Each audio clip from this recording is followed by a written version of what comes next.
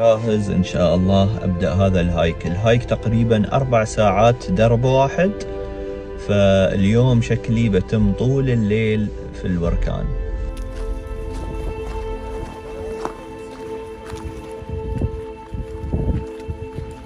بدأ المكان يحر شوية. وايد شيء صعدات حاده هني. جميل. يعني تحس إن المكان صعب توصله مو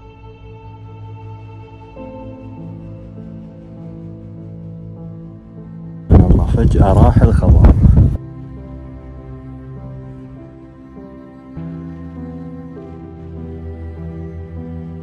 يعني على برودة الجو الصخور هاي وايد حارة. ولو تمشي عليها مثل الزجاج يتكسر وعادي تطيح داخل البركان. وأتذكر يوم رحت هواي أول مرة شفت البركان كان أخطر شيء إن إحنا كنا نمشي على أطراف هايله هذا هو البركان اللي انفجر السنة اللي طافت لين الحين حار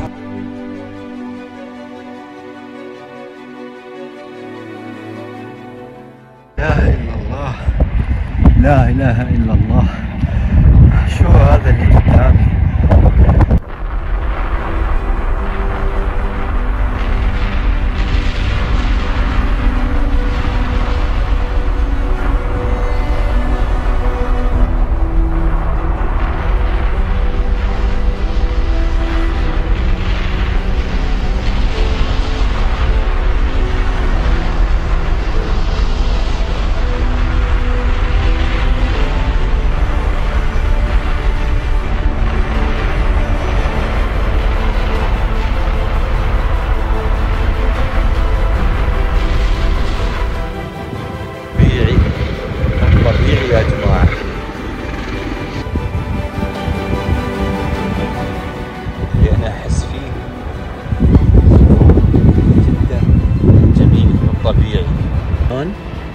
يعني يوم يضخ من الأرض فجأة تضرب هزة أرضية قوية وبعدها يطير ال- البركان لين هناك.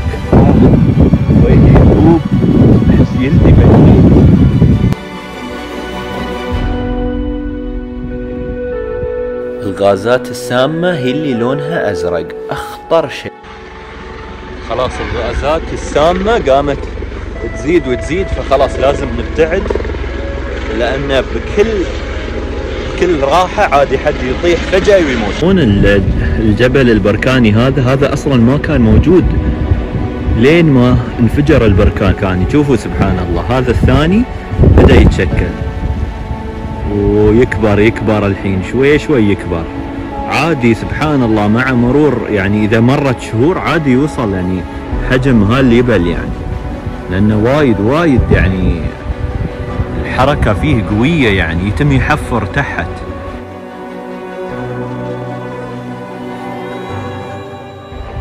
ما بأطلع يعني المنظر كل مرة يستوي أحلى.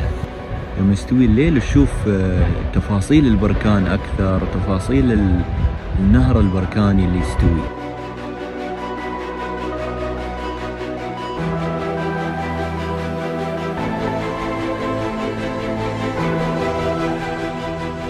شلال استوى من البركان لا إله إلا الله.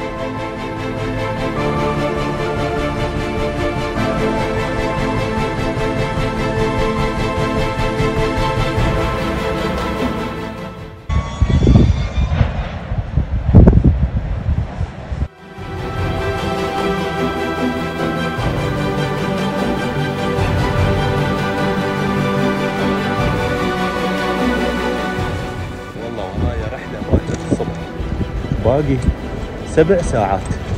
ال hike لين أرجع ساعتين ونص. شكلي مواصل لين الطيارة. بعد باكر دوام بعد. والله يا جماعة تو كنت أتكلم عن هالشيء العصر. الحين بعد ثمان ساعات ونص. شوفوا المكان كيف اتشكل هذا هو ال crater يتم يعني يتم الحصاد. تيمع تيمع تيمع من تحت الأرض وتستوي دويرة.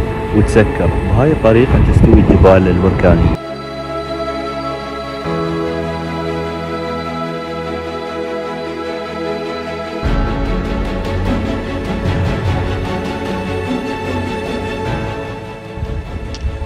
أروح من هالمكان وأتوقع يوم بوصل بتكون طيارتي على طول.